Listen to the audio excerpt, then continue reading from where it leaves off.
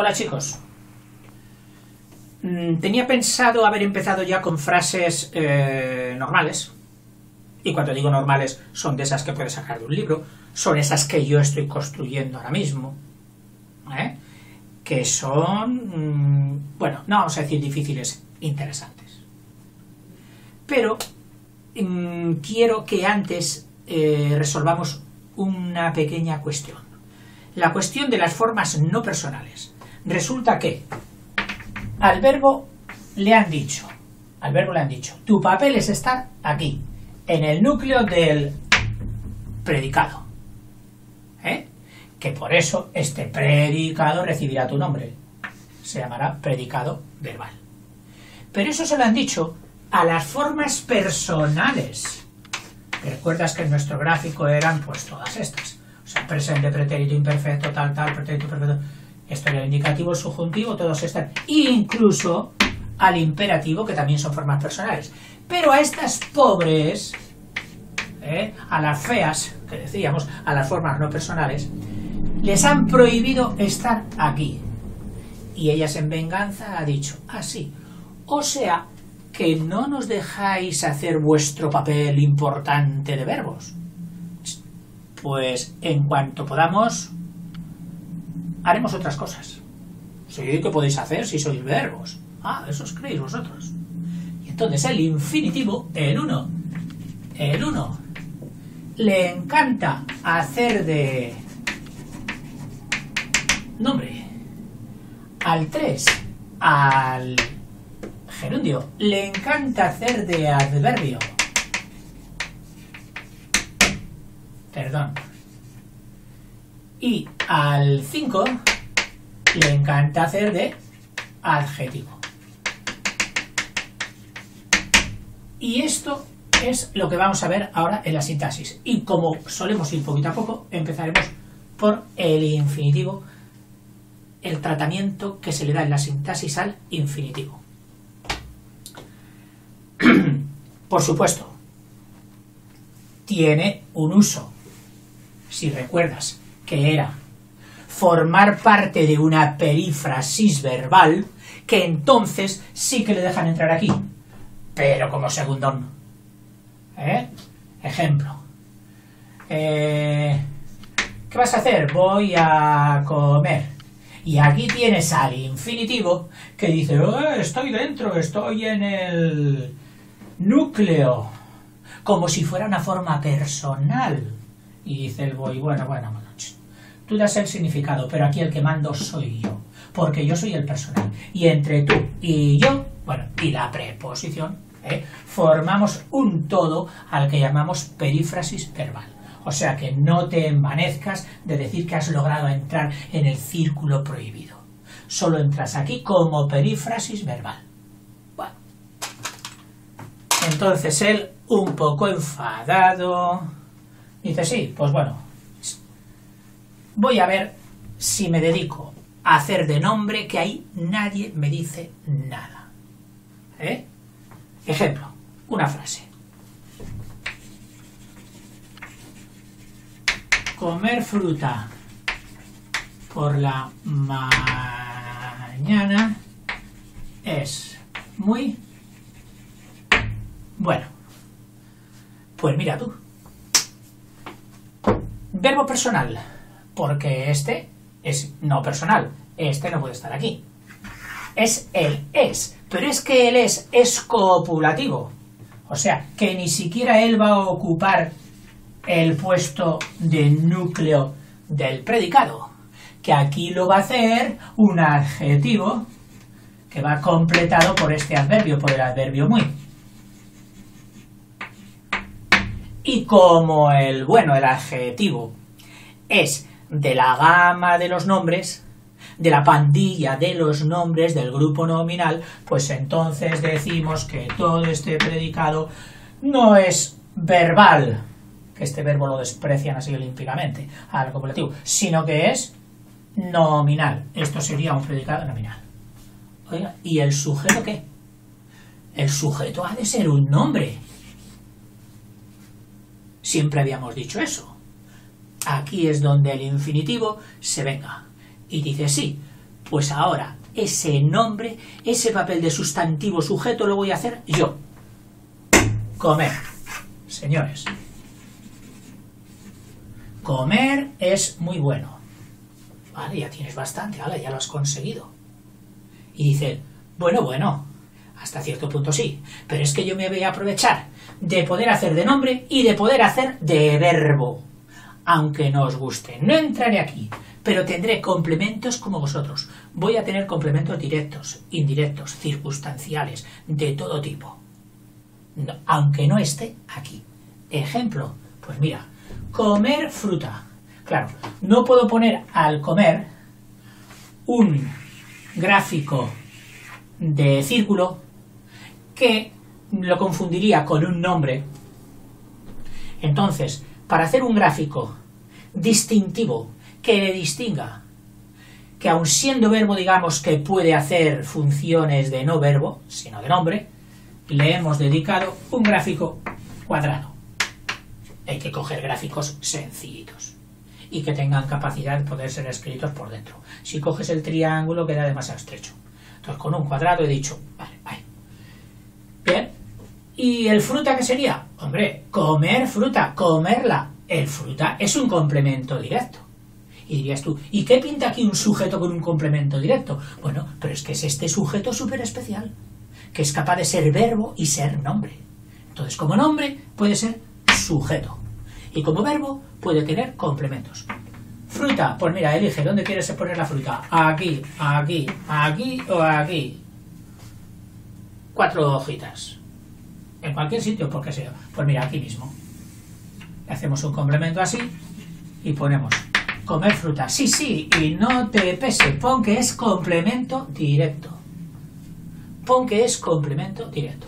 Y tienes todo este sujeto. Ah, no, que queda por las mañanas. O sea que comer por las mañanas, por las, por, que es el gancho preposición, por las mañanas, complemento circunstancial de tiempo, fíjate, o sea que es, es, un es un sujeto y sin embargo tiene complemento directo y complemento circunstancial de tiempo. Bien, pues todo esto forma el grupo de sujeto y de todo esto decimos que es, bueno, predicamos, predicamos, que es muy bueno. El gráfico, pues mira, como quieras. Puedes dejarlo así o puedes hacer así una, una rotondita ¿eh? que englobe a todo el grupo del, del sujeto. A veces, a veces, ya lo veremos, estas ¿eh? suelen llevar también aquí un qué, un gancho entre el grupo de sujeto y el grupo de predicado. Haremos unas frases que es como se ven mejor. Otra.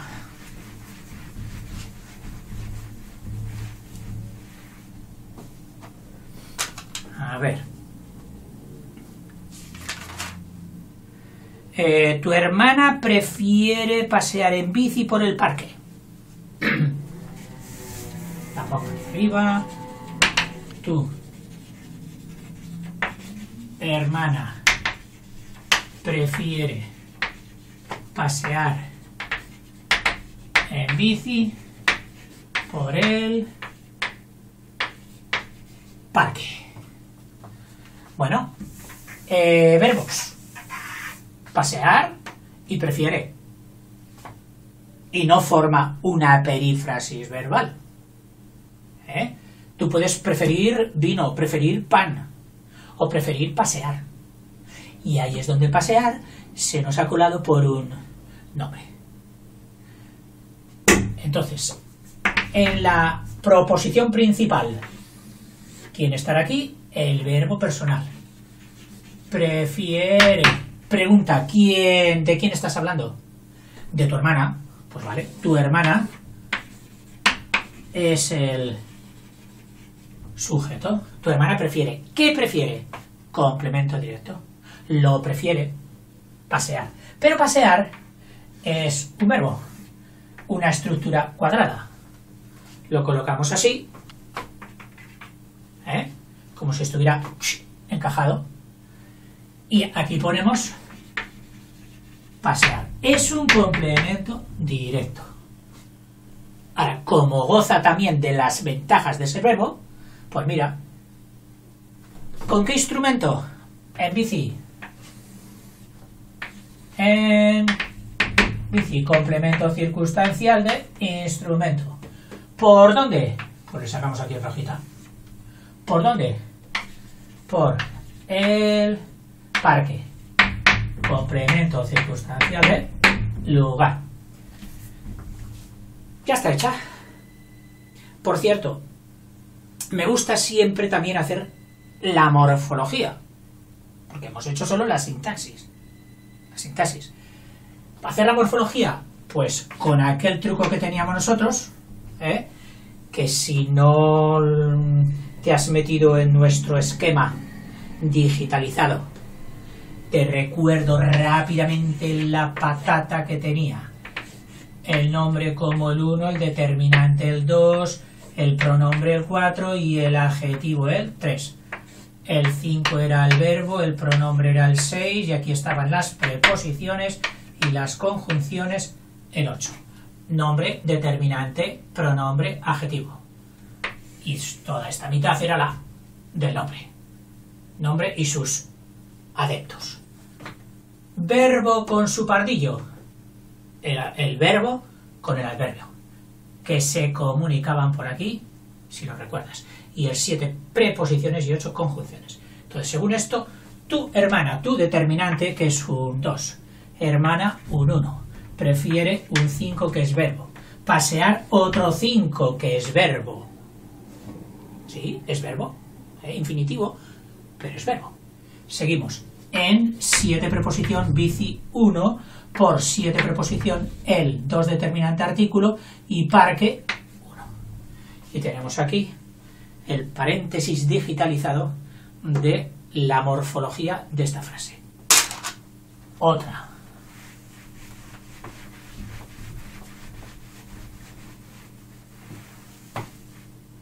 A ver, si cogemos el tranquillo y dice, tengo muchas ganas de conseguir el título de enseñar mates en primaria. Ah, bueno, antes había otra. Acércame las tijeras de cortar pescado. ¿Eh? Acércame las tijeras de cortar pescado. Bien. Verbos. Acerca. Acerca. Es un imperativo y acerca. A mí. Acerca a mí. Acércame. Eh, cortar. Otro verbo. Pero por supuesto. El que está en forma personal es este imperativo. Acércame. Complemento indirecto. ¿Eh? ¿Quién? Sujeto elíptico, o tácito, como dicen en otros países, o sobreentendido también, ¿eh? elidido también, es decir, estos gramáticos. Ay, señor, cómo les gusta dar diversas palabras para lo mismo. Dicen que es la riqueza del lenguaje, sí, pero cuando tienes que enseñar lenguaje, y especialmente a principiantes, el tener varios nombres para una cosa como que puede ser un poquito peor que mejor. En fin, acércame, ¿qué cosa?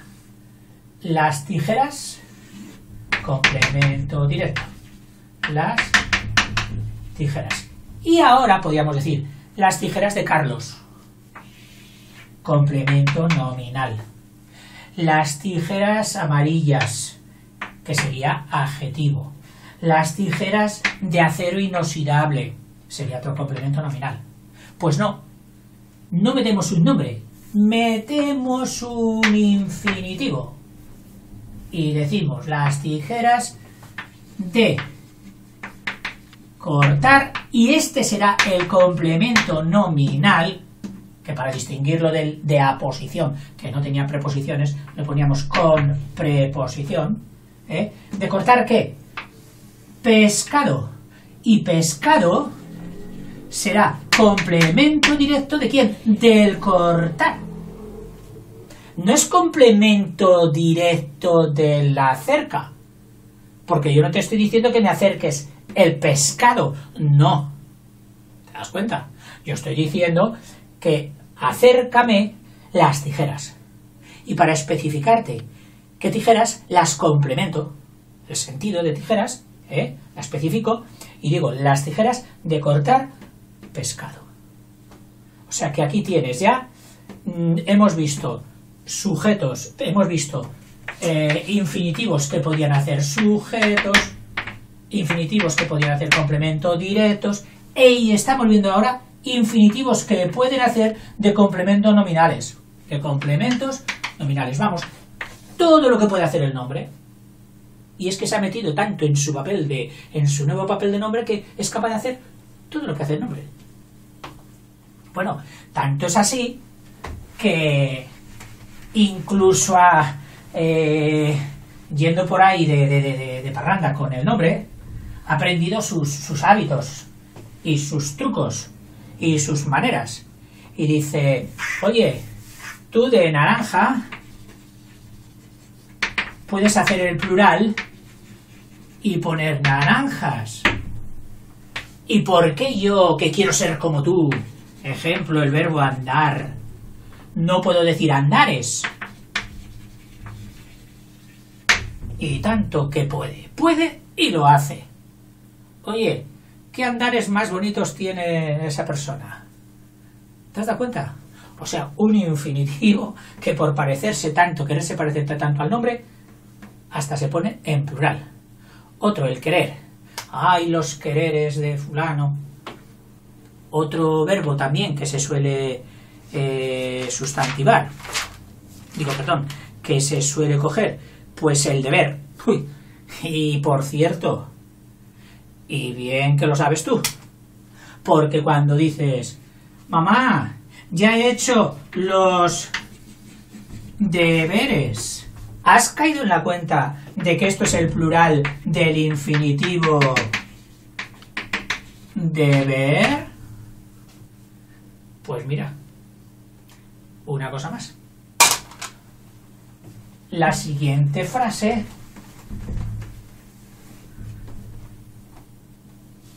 A ver, es que tengo bastantes, pero no quiero atiborrarte de frases.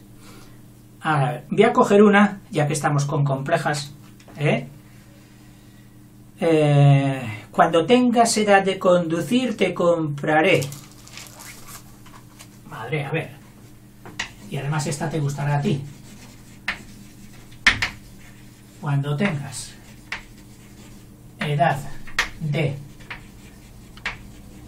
conducir, te compraré una moto, el sueño de todo niño, una moto de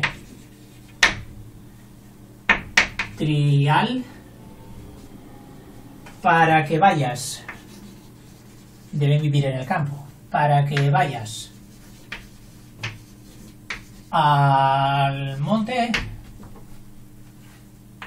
a por leña de quemar. A por leña de quemar. Leña buena de quemar. Leña de quemar. Bueno, ¿y qué haríamos con todo esto? Pues vamos a subrayar primero los verbos. Tengas, conducir, compraré, vayas y quemar. Jolín, sí que hay verbos. Bueno, pero en forma personal, es decir, aspirantes a estar en el núcleo del predicado, serían tengas y vayas. ¿Eh? No, y compraré. O sea, tres, tengas, vayas y compraré. La importante aquí, ¿eh? la que no depende de los demás, es decir, yo te compraré. Y lo demás son circunstancias que ¿para qué te compraré? Para que vayas. ¿Cuándo te compraré? Cuando tengas edad. Pero el compraré es más sólido, más importante. No depende de los otros. Entonces, te coges aquí y pones compraré. Sujeto, elíptico, lo hago yo, yo, yo compraré, sí, sí, yo lo compraré. ¿eh? Así que sujeto elíptico, que lo ponemos así, y yo. ¿Para quién lo compraré? Para T.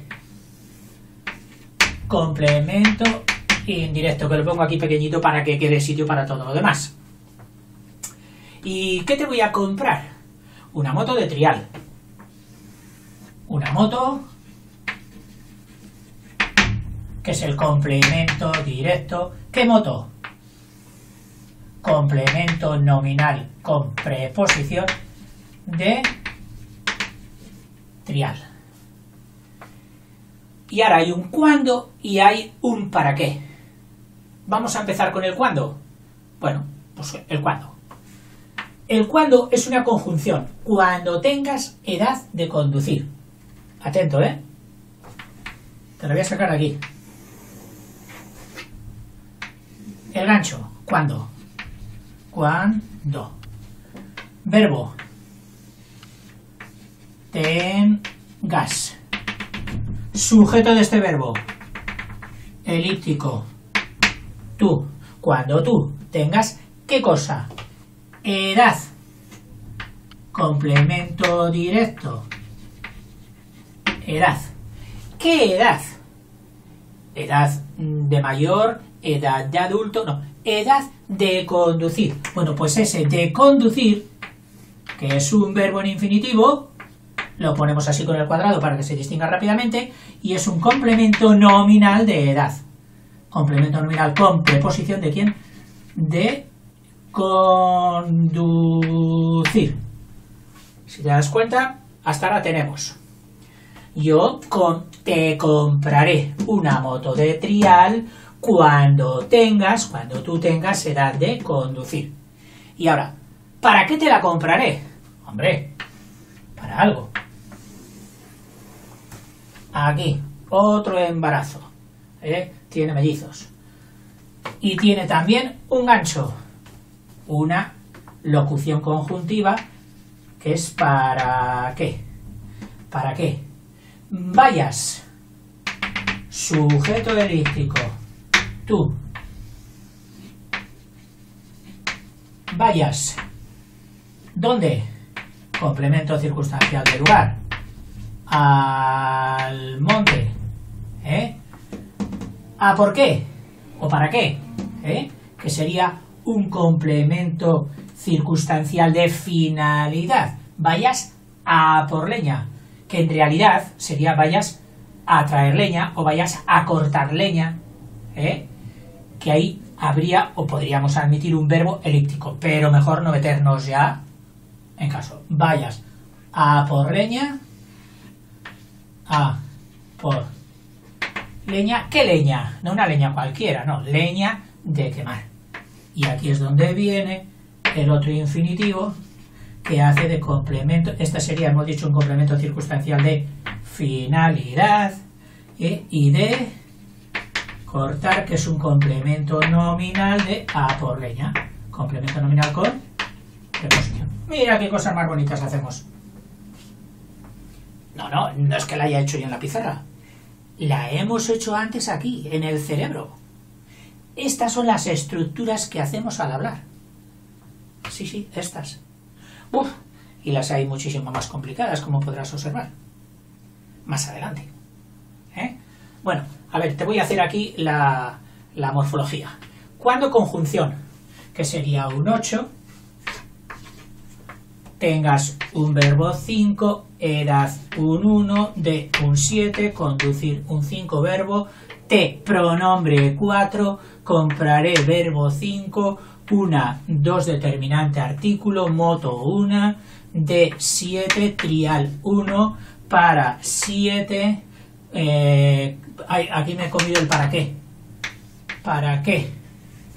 El 7. El qué es una conjunción, pero que forma todo ello una conjunción, digo, perdón, una locución, eh, locución conjuntiva, es decir, una locución, una L8, ¿eh? que son de dos palabras, el para y el qué. El para y el qué. el para y el qué, que forman una locución conjuntiva, el 7 y el 8. Esto ya lo aclararemos más. Vayas es un 5, al es un artículo contracto formado por una preposición a y un determinante artículo el, por eso que lo podemos poner 7, 2, 7, 2, porque si ponemos 72 va a haber mucho lío, y así esto sería el artículo contracto. Al monte 1 a 7 eh, por 7 leña 1 de 7 quemar 5. Todo esto sería la morfología de esta frase. Tenía tres más, pero claro, ya estarás sudando y dirás, qué rollo. ¿Seré capaz de hacer todo esto yo? Oye, inténtalo. Ponte la frase en un papelito y empieza a hacerla. No esta, las anteriores también. Venga, hasta luego.